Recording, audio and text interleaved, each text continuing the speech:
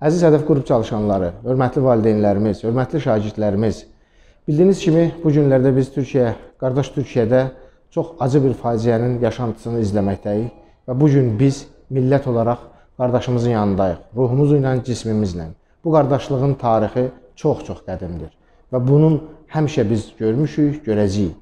Qurtuluş Savaşında Azərbaycanın Türkiyəyə dəstəyi, Azərbaycan Cümhuriyyətinin quruluşunda Türkiyə ordusunun Azərbaycana dəstəyi, Qarabağ Savaşında Türkiyənin millət olaraq, dövlət olaraq yanımızda olması bir daha bu qardaşlığın əbədi nümunəsidir. Bu gün biz Türkiyədə baş verən zəlzələnin e, acısını hər birimiz, hər bir cismimizin hər bir nöqtəsini yaşamaqdayıq. Bu baxımdan biz hədəf qrup çalışanları olaraq şagird kollektivi ilə, müəllim kollektivi ilə, valideyn kollektivi ilə qardaş Türkiyəmizə başsağlığı verir.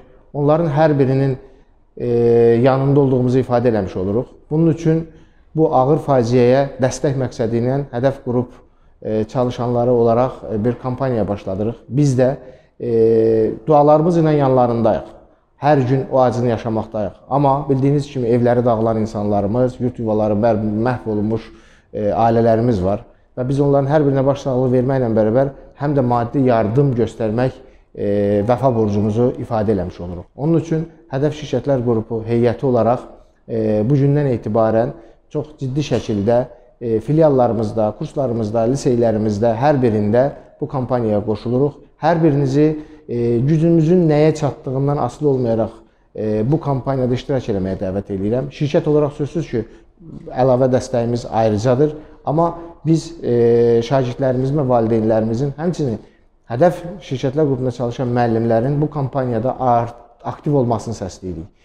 Düzdür, e, ölkəmizdə müxtəlif bölgələrdə rəsmi, qeyri-rəsmi formada hər kəs öz maddi, mənəvi dəstəyini göstərir, hər kəs öz yardım kampaniyasına güc çatanı göstərmiş olur və biz bunun bir növ qürurunu yaşayırıq. Çünki dünən gecə saatlarına qədər e, Türkiyə səfirliyinin təyin etdiyi məkanda ciddi şəkildə dəstəyin olduğunu görürük və sözsüz ki, qürur duyuruq və belə də olmalı idi. Başqa variantı, başqa forması olmamalıdır.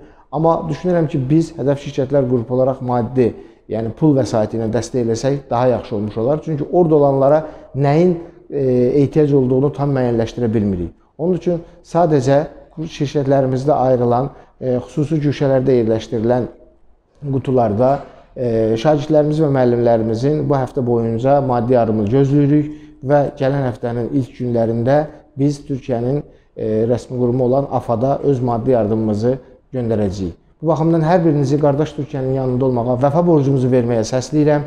Biz bir qardaşıq, bir ruhuq, bir canıq.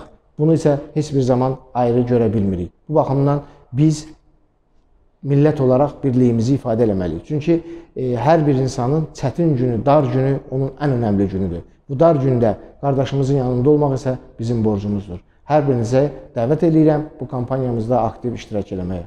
Təşəkkür edirəm.